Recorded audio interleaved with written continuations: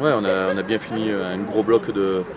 de 10 matchs, avec 8, victoires sur 10, donc euh, on avait besoin un peu de se régénérer pour attaquer euh, la fin de championnat qui s'annonce palpitante. Ça va être un gros test pour nous, on va, enfin pouvoir se jauger contre une, grosse équipe euh, de ce championnat, donc voilà, on va voir vraiment où on en est. La fois qu'on a reçu un gros,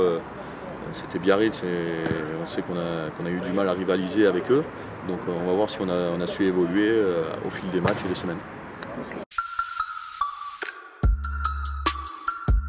Ils sont à peu près bons partout, ils mettent euh, beaucoup, beaucoup de jeux, ils ont un arrière qui est, très bon, Jaminet, et ils sont très bons sur les ballons de, contre-attaque. Voilà, maintenant à nous de, savoir conserver le ballon et le rendre euh, le moins possible de munitions. Oui, jouer à domicile, c'est toujours un plus, même si euh, on ne peut pas compter sur nos, supporters au stade, même si on sait qu'ils nous suivent euh, derrière l'écran. Mais, euh, mais, voilà, vaut mieux, vaut mieux les recevoir sur un terrain qu'on connaît que plutôt aller jouer à Amy Gérald. Après, voilà, c'est vrai qu'avec le Covid et la situation actuelle,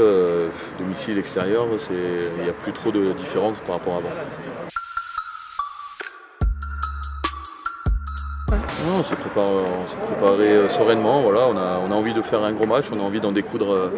avec eux et une fois de plus euh, voir, euh, voir où on en est et savoir de quoi on, peut être capable pour, euh, pour la fin